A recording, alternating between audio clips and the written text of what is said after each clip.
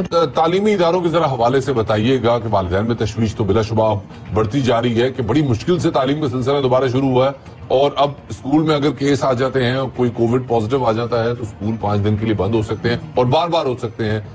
तालीम के हवाले से वालदेन को कितना कंसर्न होने की ज़रूरत है?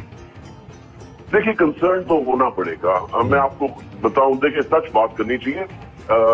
इट इज़ अ प्रॉब्लम खुदा खास्ता केसेस बढ़ते हैं, खुदा खास्ता चीज़ें स्पाइक की तरफ़ जाती है तो सबसे पहले जो ज़रूरी चीज़ है वो हमारे बच्चों की ज़िंदगी और टीचर्स की ज़िंदगी है।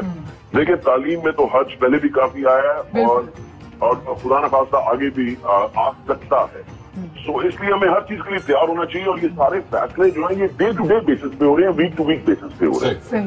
देखिए इस पे आ, काम हो रहा है साइमल्टी ऑनलाइन की तरफ़। और जो हमने तालीम का टीवी पे भी शुरू किया था पंजाब के अंदर जिसको अभी हमने रोका ऑब्वियसली क्योंकि स्कूल खुल गए तो उसके बाद